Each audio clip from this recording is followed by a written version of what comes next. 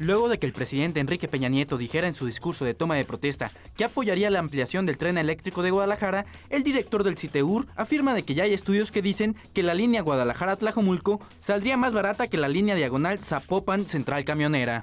Lo que habíamos mencionado, el, corredor de 16 kilómetros y medio nuevos hacia el sur estarían en aproximadamente 4.500 millones de pesos a, a costo de hoy. Habría que actualizarlos y si eso se decidiera. Y el de la línea diagonal, pues es un poco complicado definirlo porque están en los estudios, pero si, si nos animamos a hacer un cálculo aventurado, no podría costar menos de 20 mil millones de pesos